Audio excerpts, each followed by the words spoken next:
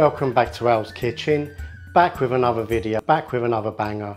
This week I'm cooking Indian restaurant style chicken korma.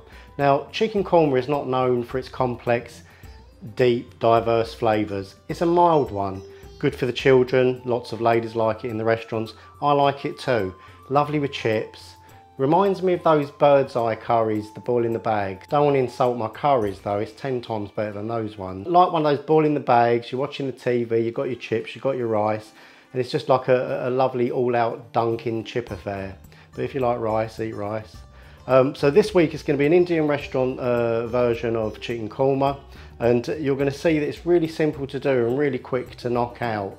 Not a lot of ingredients in this but the ingredients you use must be proper. Talking a proper, I'm drinking a proper beer.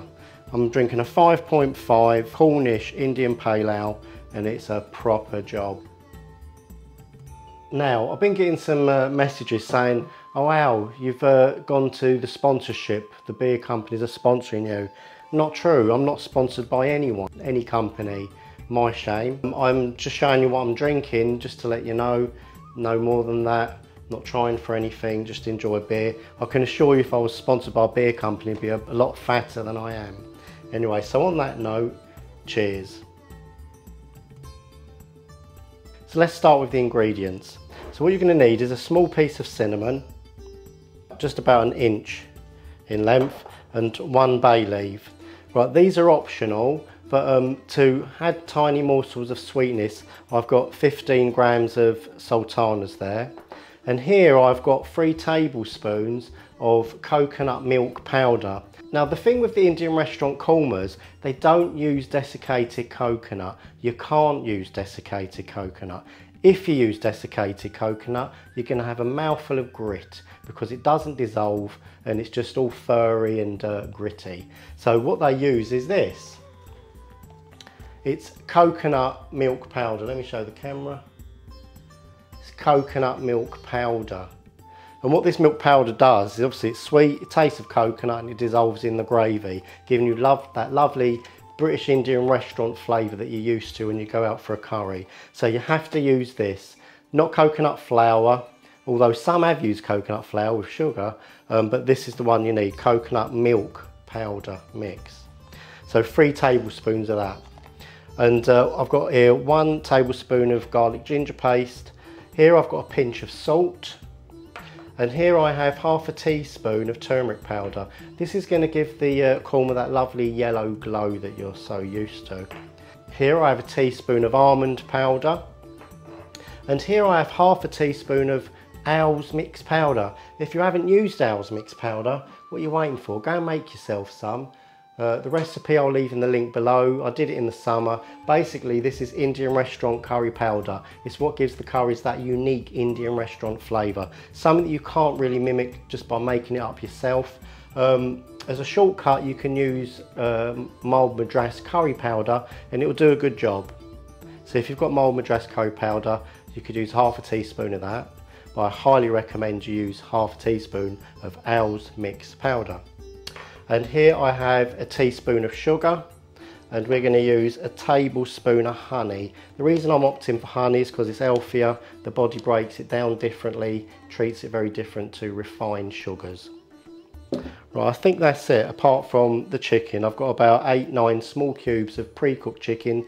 Now this is just plain chicken, all I've done is boil it. And the reason I've boiled it is because when you boil chicken, it's really tender. Um, you don't have to do that. I've been doing that and been achieving great results. It's all going to be served in this lovely uh, karahi. It's all copper. And if you want to know where I get these from, just check the description below and I'll provide you a link where you can buy these from. It's all going to be cooked in a nice 9 incher. This is a 9 inch aluminium frying pan. Go and buy yourself one, get your missus to buy you one. I'll leave a link in the description box below to show you where you can buy these. Um, aluminium conducts heat. It allows the base gravy that we're going to use to burn and stick to caramelise, creating more sweetness, more authentic British Indian style flavours. And uh, you can't really do this in a non-stick pan. People do, but they're always 30% short of what the curry should be. So I would recommend getting yourself an aluminium pan.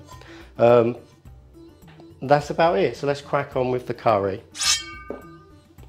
Right, so let's get started. So we want to put this on a low flame and uh, we're going to put your oil in. I'm just using vegetable oil. You can use other oils, mustard oil, uh, coconut oil. Now I'm just putting enough oil in to cover the inner circle, the inner part of the frying pan. And we don't want this to get too hot. And the reason we don't want it to get too hot is because the coconut milk powder will burn. So we're just going to put the cinnamon stick in and the bay leaf. I'm just going to extract some of the flavours out of those. I did a korma a few years ago, it's really popular, I think it's had around 90,000 hits. Um, this one's going to be slightly better and hopefully this video will be more easier to follow and understand. Plus I'm going to leave all the ingredients in a list below in this video which I didn't do uh, with the previous one. You had to watch all these little funny speech bubbles open up. So let's celebrate curry eating with a drink. Look at the colour of that, isn't that beautiful? Nice. Really citrusy and fruity this one. Okay, so we're going to leave those in there anyway. And the first ingredient that goes in is the ginger garlic. I think for those of you that have been following me for a while, you'll see a similar process in cooking and building the curries. And practice makes perfect, you know, you'll get better at it. So we'll literally just fry this off for around 20 seconds. Please make sure it doesn't burn. You know, it's game over if anything burns. Well, very quickly, we're going to put in the coconut milk powder, the mixed powder, and the turmeric powder. And I'm going to add in one ladle of base gravy, otherwise it's all just going to go all um, into lumps. So just stir that out. And there's your korma base there. Already it's looking like what you would see in an Indian restaurant. Obviously we're going to build it a little more. I'm using the back of the spoon here so as not to create scrapes. I get a lot of complaints about the scraping. That's it, just keep turning it, get those lumps out.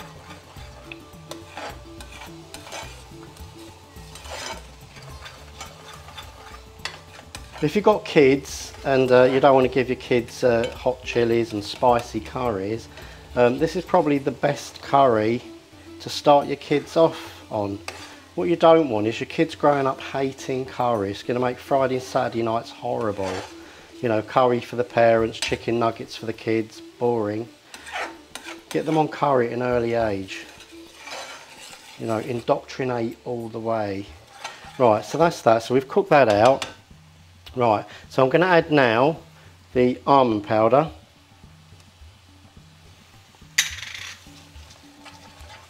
Keep stirring it. Touch more base gravy. Unlike um, previous uh, BIR curries, where when I'm cooking them, basically the heat's higher, there's a lot more sizzle and burn. Just be careful with the uh, with the kormas because it's a thick creamy curry you don't want to uh, overdo it. So I mean look at that look at the glaze and sheen on that. It's already looking really nice. Okay so turn that in so it doesn't stick around the edges. Just lightly take that off the bottom.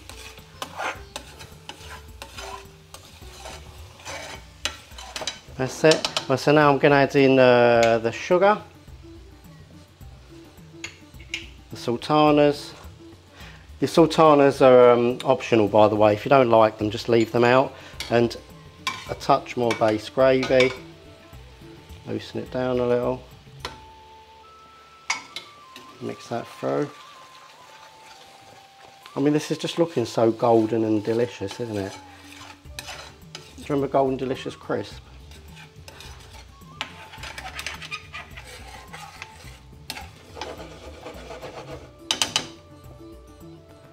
Right, to sweeten it some further with some natural goodness, I'm going to put in a, tea, a tablespoon of honey. So dip it in, so. In that goes. And for those that are health conscious, I mean, why'd you make this a hobby, really? Come on. This is indulgent food. You know, Weight Watchers and BIR curries don't really go together most of the time.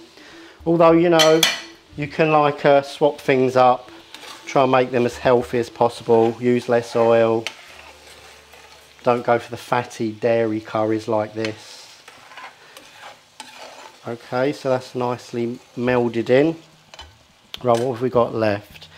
Right, to give it some of that korma body that you get in a restaurant, I've got 100ml of single cream. You can use double, but I find when I use double it gets a little bit too thick.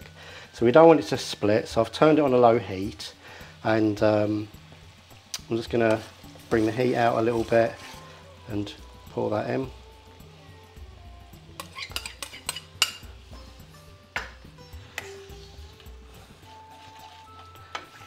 There you go, that's looking lovely.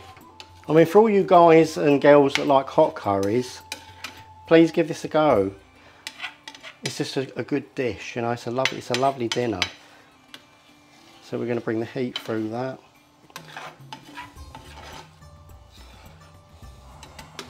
And I'm also going to add a tablespoon of natural yogurt.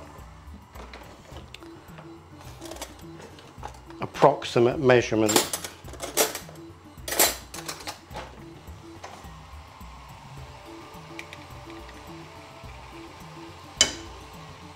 turn that in.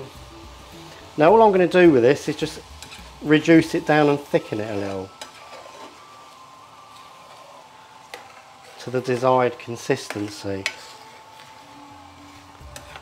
Yeah, so I've had a little break, I've had a little summer break, um, I think about about four weeks break. In that time my dog died, 13 and a half years, chocolate lab, old age, arthritis, so that's hit me a bit missing him, my baby. And uh, yeah, so I've enjoyed a bit of a summer break. I'm back with another curry, back with another banger. Right, so let's put the chicken in. Like I said, pre-cooked chicken. Throw that in. I mean, it's looking really nice. Right, let's heat that through and simmer that down a little bit.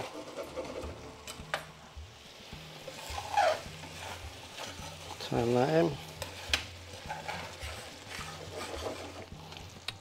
All that's left is the pinch salt.